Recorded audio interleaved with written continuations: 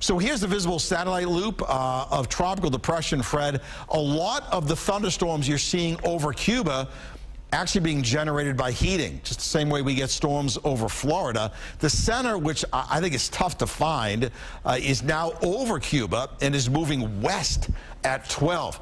The new track has been shifted to the west. This is a pretty low, the whole thing is a low confidence forecast.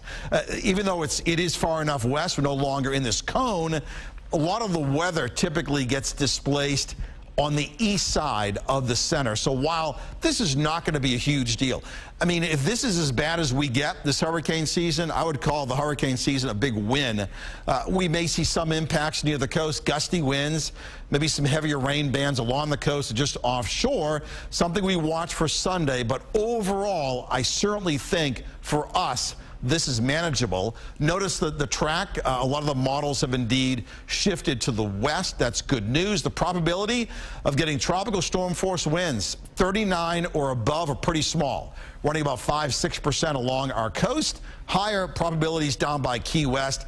Rainfall next seven days could be a lot. And then Got tropical depression number seven now out in the Atlantic.